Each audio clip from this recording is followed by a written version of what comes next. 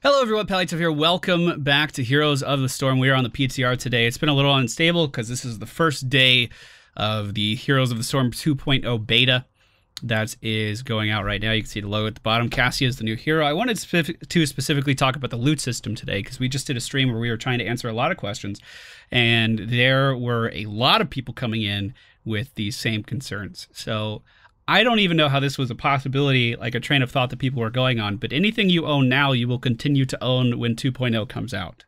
I'm not sure why people thought that Blizzard would take away something from you, especially when you've paid money for that something. What you will continue to get is the opportunity to get loot up, uh, these loot chests. Now, these loot chests will come uh, as a leveling up reward. This is not entirely retroactive, though, from what I understand. This is what I've been told. I did not ask the developers myself. There is a 70 loot cap based on your account level. Now, we are still on the PTR right now. Uh, as you can see, I'm level 72, and I was giving 14 loot chests for being level 72. Uh, level 72 is not that hard to achieve if you've been playing the game for any amount of time. Is there a so my hero roster still has a bunch of level ones in it. I think my highest level on this is the butcher at level six.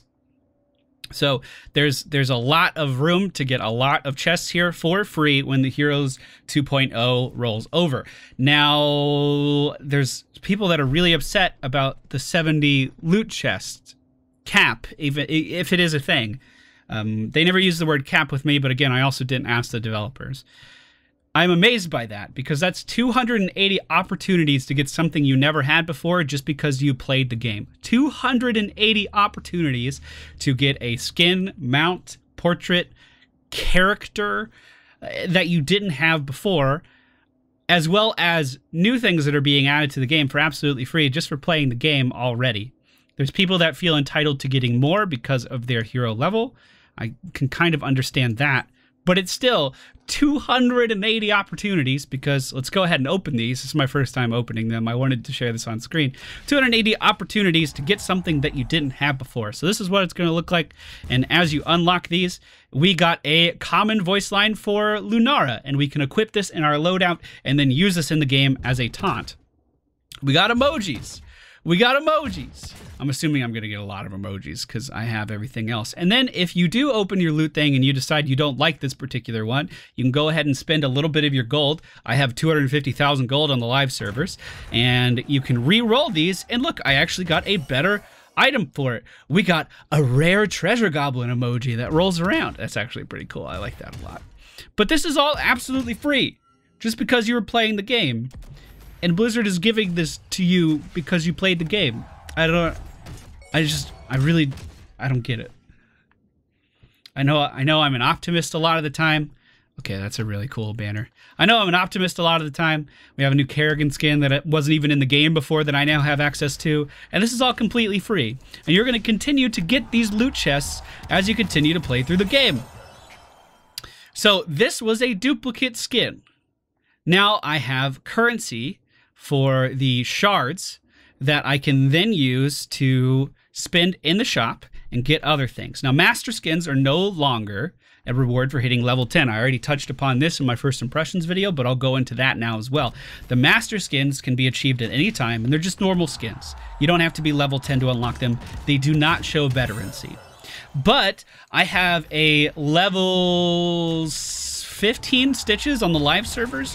When 2.0 comes out, hey there, hey there, stitches. When 2.0 comes out, that level 15 skin will go up significantly higher. It'll probably be in the high 20s, low 30s.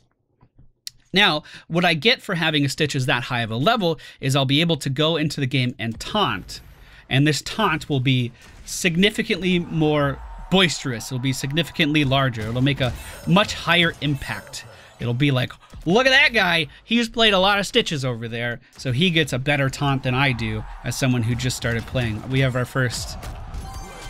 So we have our legendary Uther skin, legendary skin that I have a duplicate of, 400 uh, shards in the bank there. Now, a lot of you have followed my channel in the past, and you know that I own everything that is ever released in this game. I have every mount that's that was up for purchase. I invested thousands of dollars into this game. If anyone has a right to be upset about a new loot system coming into play, I feel like it is me. Um, keep in mind. Oh, okay. Let's one train of thought at a time. Now, I have the opportunity here to, and as you've seen, I've unlocked more things that I did not have as a person who owns everything in the game. This is only adding new things, and I didn't do anything for this. It's absolutely free. I just don't, I just don't get it. I just really don't get it. That's a good skin, by the way. This is my rare chest here. Now, you can still, you can still, dude, that looks sick. I do wish there was a way to inspect these further here. That would be my one form of feedback. This is my first opportunity to actually open chests here. Uh, I do wish that I could um, kind of like right click on this and see it full screen or something. I would I would like that to be added. But again, as a person who likes to spend money to support developers and to unlock things, that's still a thing I can do. We can go up here to the gems section, we can go to my collection, and if I wanted to, I haven't actually done this yet. So if I wanted to buy more gems, where do I go for that? Because I'm clicking on this. Gems can be acquired on the PTR by completing a repeatable quest. Oh, I see. But these shards that I have, that I got for getting duplicate items, can now be used to purchase things like uh, the a Diablo skin that I want. So let's go ahead, search for the new Diablo skin, and I could go ahead, if I had enough, and go ahead and just straight up purchase this. And once this is on the live servers, I could then use these, uh, excuse me, shards to purchase things with free currency. Gems are the purchasing of a purchase currency with real life money. I could then use my gems to specifically buy this, and it's no different from the old system.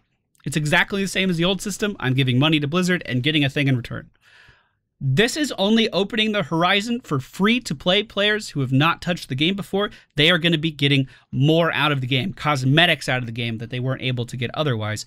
Or players who do spend money on this and do support the developers can pinpoint what they want a little bit easier.